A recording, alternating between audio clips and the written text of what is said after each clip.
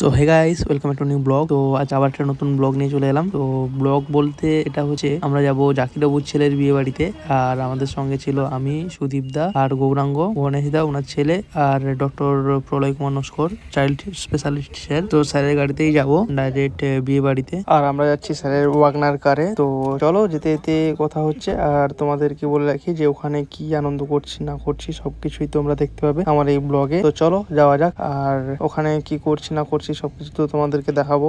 আর ওখানে গিয়ে বিয়ে বাড়িটাও কীরকম হচ্ছে সেটাও তোমাদেরকে দেখাবো। চলো যাওয়া যাক, তারপরে তোমাদের সঙ্গে কথা আর আমরা যাচ্ছিলাম নন্দীগ্রাম থেকে, আর বিয়ে বাড়িটা হচ্ছিল শামসাবাদ। শামসাবাদ কি আমগাছে এরকম কিছু একটা হবে প্রপার অ্যাড্রেসটা বলতে পারছি না। তো চলো আমরা চলে এসেছি, আর এখানে গাড়ি থেকে গৌরাঙ্গ গিফট বার করল।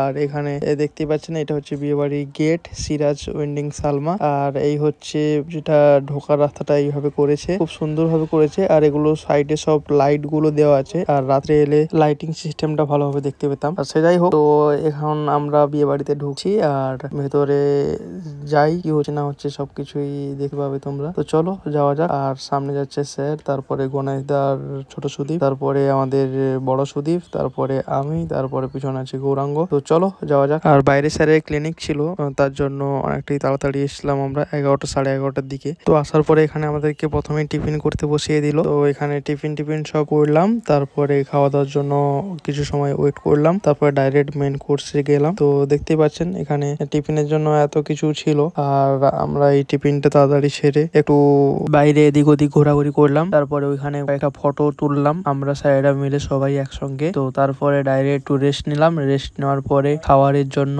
ওয়েট করছিলাম। তো চলো, এখানে দেখতে পাচ্ছ আমরা ওয়েট করছি। সবাই আছি এখানে। তো ওয়েট করার পরে, কিছু সময় পরে খাওয়ার রুমে ঢুকলাম। আর খাওয়ার রুমটা অনেক বিশাল বড় ছিল, যে খাওয়ার জায়গা যেটা ছিল। তো দেখতেই পাচ্ছেন যে এত মানুষজনের আয়োজন ছিল। তো দেখা তোমাদেরকে। তো এখানে দেখতেই পাচ্ছেন অনেক মানুষজনের আয়োজন ছিল। তো আমরা বসে গেছিলাম।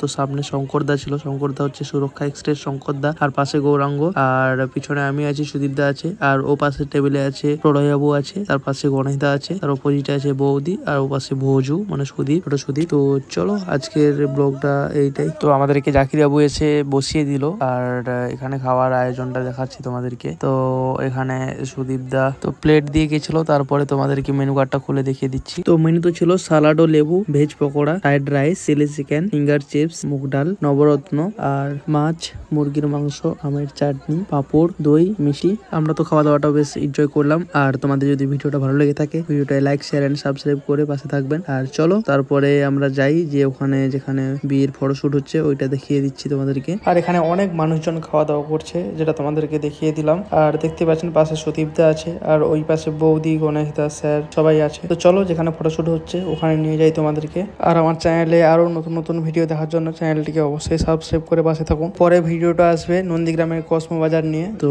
এইখানে এই ভেতরটাই হচ্ছে বিয়ের ফটোশুট হচ্ছে, দেখতেই পাচ্ছেন। আর চলো আজকে ভিডিওটা এটুকুই। ভিডিওটা যদি ভালো লাগে থাকে লাইক শেয়ার এন্ড সাবস্ক্রাইব তো চলো, আর ব্লগটা কেমন লাগল অবশ্যই কমেন্ট করে জানাও। এরকম আরও ব্লগ দেখার জন্য চ্যানেলটিকে সাবস্ক্রাইব করে পাশে থাকুন